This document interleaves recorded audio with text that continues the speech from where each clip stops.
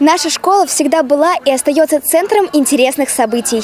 Каждую неделю ученическое самоуправление обсуждает различные идеи и придумывает способы, как разнообразить школьную жизнь. Уже второй год подряд в школе номер 225 проводятся встречи с интересным человеком. В прошлом году гостем был Олег Владимирович Климанов. В этом году, в преддверии Дня местного самоуправления, школу посетил заместитель главы города Сергей Александрович Воронянский. Особенностью этой встречи стало то, что она проходила между активистами и органами местного самоуправления города. Встречаться с органами власти стало уже такой доброй традицией. В том году к нам приходил глава города, в этом году заместитель главы. А, дети могут напрямую пообщаться с людьми, которые стоят у власти э, в нашем городе.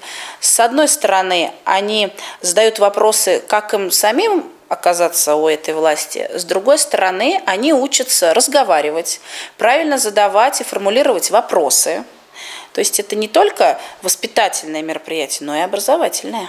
Ученическое самоуправление интересовало абсолютно все. Одной из тем, которые волновали учащихся, было развитие инфраструктуры города.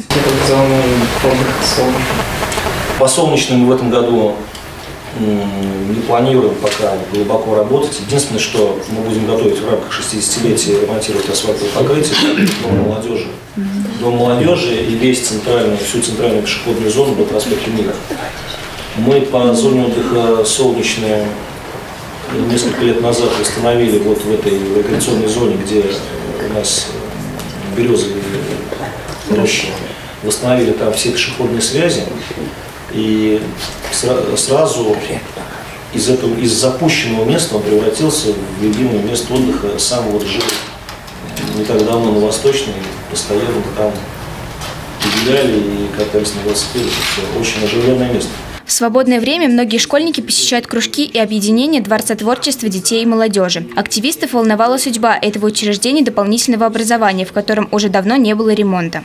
Я хожу в Дворец творчества детей и молодежи, и вот у меня такой вопрос. Планируется ли ремонт в Доме пионеров? Да, в этом году мы меняем витражи, поскольку там вот зал большой, достаточно такой холодный. Пока начнем с этого, вообще это здание требует серьезных вложений, серьезного такого вмешательства.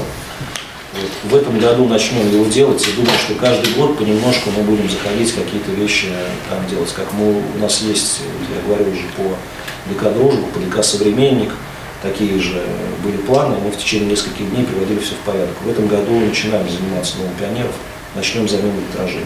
Также активистам было интересно узнать о том, как проходит день Сергея Александровича, что входит в его обязанности. А еще прозвучал вопрос об отношении власти к молодым специалистам.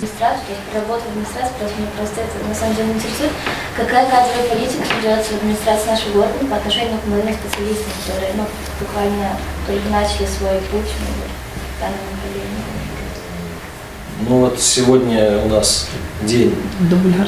Э, да, день, так называемый день дублера. У меня началось тоже сообщение с э, молодым человеком, с дублером, который э, выполняет сегодня обязанности заместителя главы. Да нормальные отношения, мы только поддерживаем. Если есть желание, если у человека есть желание работать, то, как говорится, welcome, что Другое дело, что общая тенденция к тому, чтобы у нас э, полномочий становилось все больше, а численность все меньше. Так называемая оптимизация. Вот. Э, ну, с другой стороны, работы хватает. Поэтому, если есть желание, получайте образование, приходите, работайте на благо. Самое главное, чтобы э, должны работать люди неравнодушные, люди, болеющие за то, что в городе происходит. Придя сюда не просто жить, а работать и погружаясь постоянно в городские проблемы, что такое еще? Это же не только вот э, работа там, стройка какая-то, архитектура, градостроительство. Это каждый день нужно работать с людьми, слушать их, что они хотят, их жалобы, их чаяния и так далее. И нужно реагировать.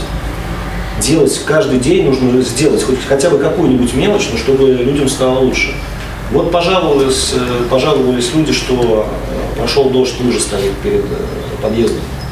Вот, ну, решили вопрос. Решили вопрос, э, убрали лужу, все, у людей уже совершенно другое отношение. Конечно, Когда все хорошо, это наша специфика то это не, не всегда замечается. Хорошо и хорошо, и так и должно быть. А когда плохо, это видно всем. Вот, поэтому работая в администрации, надо готовиться к тому, что будет очень много критики. У школьников не часто появляется возможность пообщаться с органами власти нашего города. Такие встречи очень интересны для ребят. Они понимают, что несмотря на их юный возраст, их мнение будет услышано.